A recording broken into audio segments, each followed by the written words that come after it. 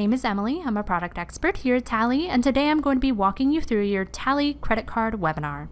Before we begin, let's go over the three types of credit card connections. Number one, Bank Data Direct. This connection type is a secure connection between your credit card company and Tallie, then set up by your administrator and assigned to you. With this connection type, transactions are uploaded nightly.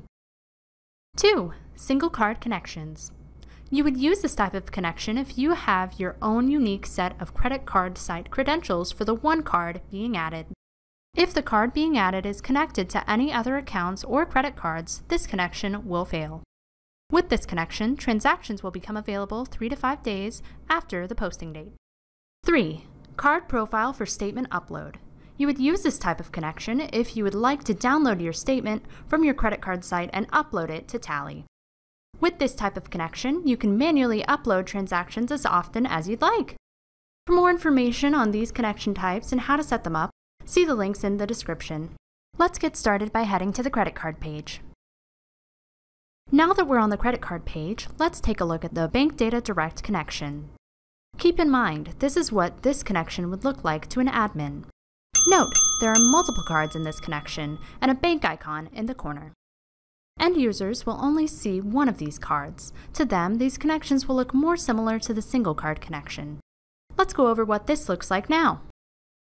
This is a single card connection. The main difference to an end user between this connection and a Bank Data Direct connection is the icon in the corner. This is a card profile for statement upload. The main difference with this connection is the ability to upload a credit card statement using this link. For more information on how to set up these connections, see the links in the description. Before we move on, it's important to remember that you can mark any connection as non-reimbursable by checking this box here. You can also change the statement start date here and assign a different cardholder here. Let's move on to the Purchases page. Now that we're on the Purchases page, let's go over the types of credit card transactions.